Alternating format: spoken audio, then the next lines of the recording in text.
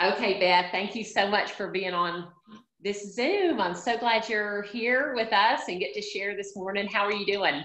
Doing great. Thanks for having me today, Joanne. You're welcome.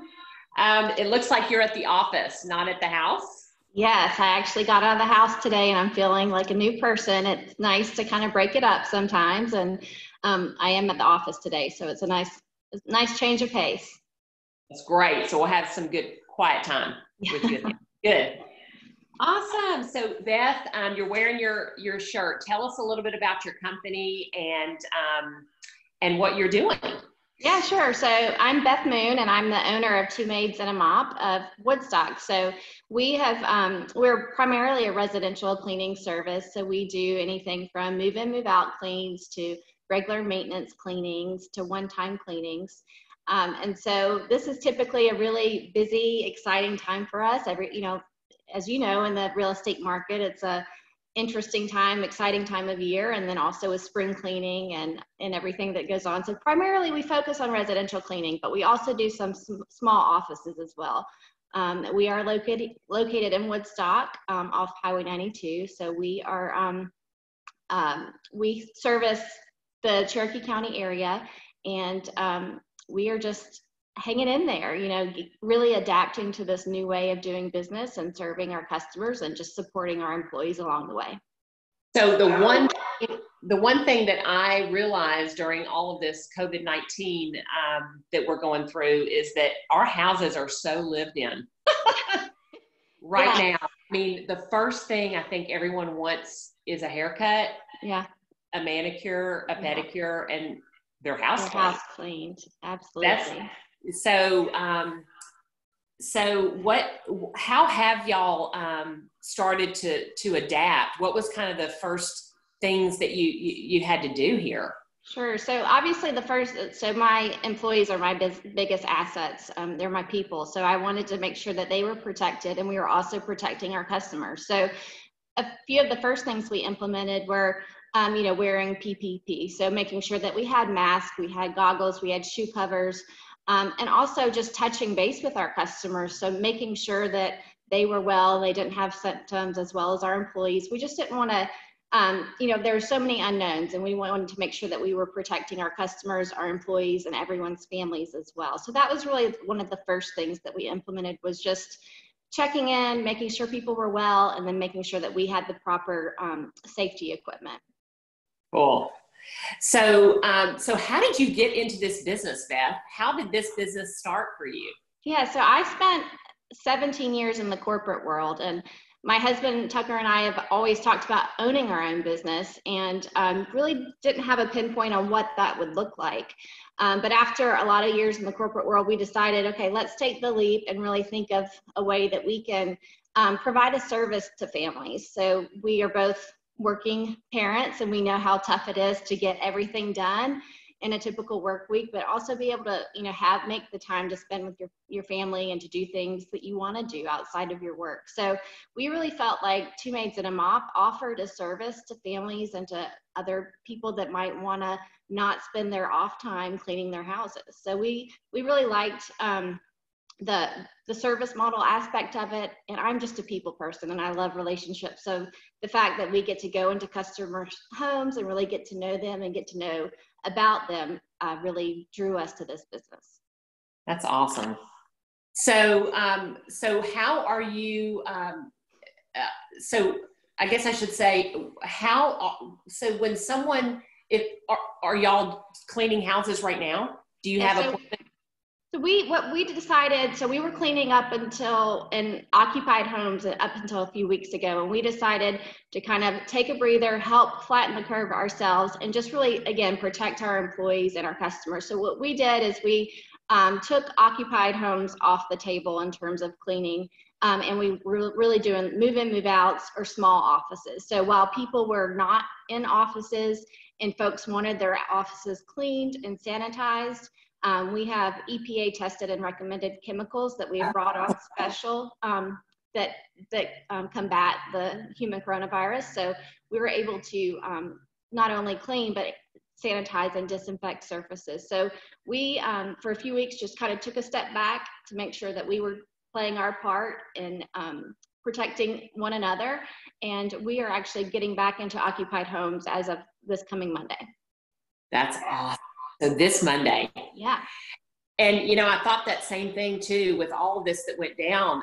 I mean, how clean is everybody's business going to be when I'm right back in? I really thought about, you know, my nail salon is opening up Friday. I think if I'm the first one in, it'll be cleaner than it's ever yeah, been. Than it's ever been, exactly. if I wait a week to two weeks, it might not be, you know what I mean? Yeah. yeah. So um, I think that's a great point to, to use this time to clean. I mean, the school systems, the restaurants, all of those um, public places are just going to be super clean. So that's awesome. So yeah. that's kind of been become your niche, yeah. vacants and and um, up until this time.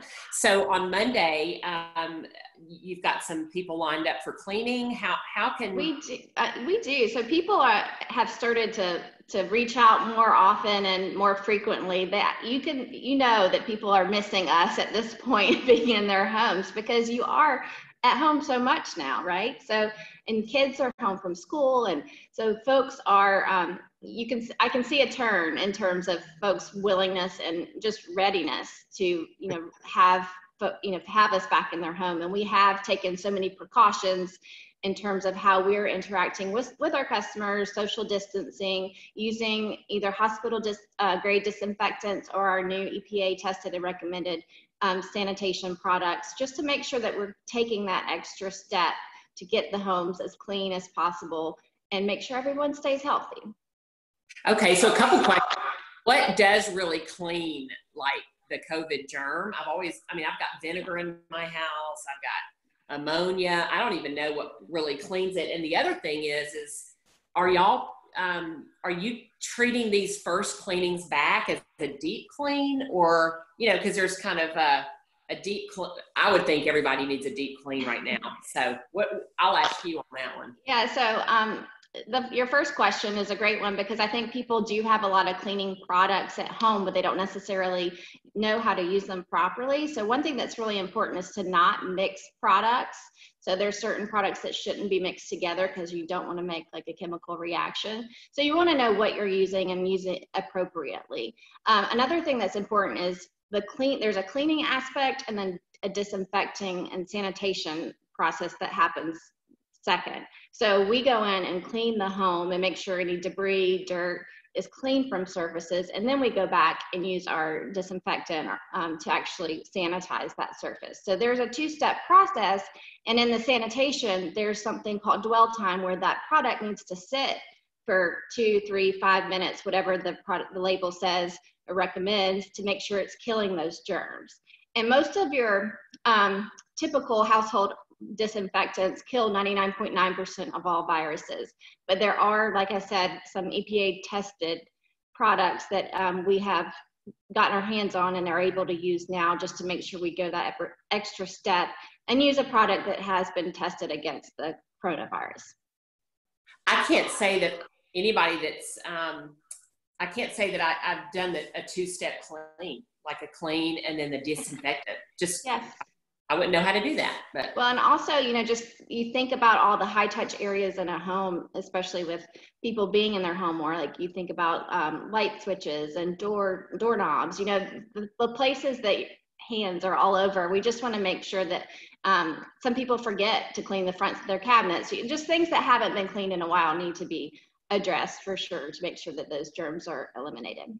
Awesome. Okay, so let me ask you, how can we help you in this in this um, in this time?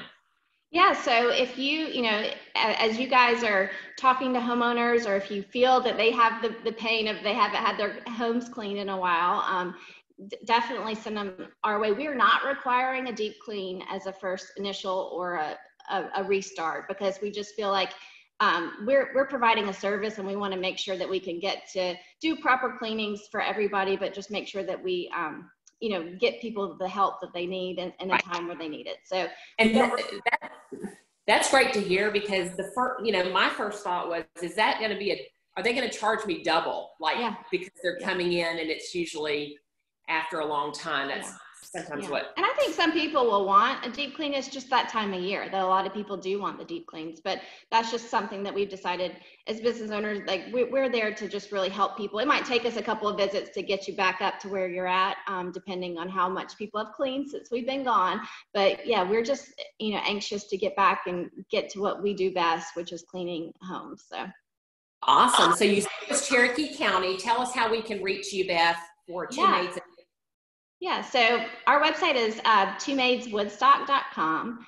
Um, the office number here is 678-810-1117. So you can book online or you can call um, me directly. I'm I'm here every day. I'm I'm the owner, but I'm also the the manager. So I'm here all the time. Um, and also, if you know people have businesses that small businesses that they're trying to get the office up and going in the next couple weeks or months, we'd love the opportunity to come in and do that cleaning and sanitizing just to give you peace of mind that when your employees do come back, that their workspaces have been sanitized properly, that everything is clean, and that you're starting from you know a really good point when those folks do return to the office. Awesome. So it's it's twomaidswoodstock.com. Yeah. Perfect. Okay. Is there a certain uh, website for two maids in a different city.com if someone doesn't live in Woodstock? Yeah, so we have a couple of locations within the uh, Atlanta area. So I would just tell them to reach out to me, um, and I can put make sure that a team kind of gets in touch with them, and I can I can definitely help facilitate that as well. Okay, and the way to reach you, um, Beth, and we're going to put this obviously in our link too, but the best way to reach you directly. Yeah, you can call me or you can email me, whichever one. Um, so call or text. The phone number is 678 810 1117. And my email as well, if people want to email me, is Beth Moon, the number four, at gmail.com. Okay. Awesome. Well, great. Well, thank you so much, Beth, for doing this. I didn't want to take too much of your time, but I think this has been some of the um, uh, this is this is on the minds of homeowners everywhere, and um, and how we can start to do this safely and be courteous and professional all at the same time. And I think you've nailed this. So thank you so much. Well, thanks for having me. It was so good to see your face, and hopefully, I can see you in person soon.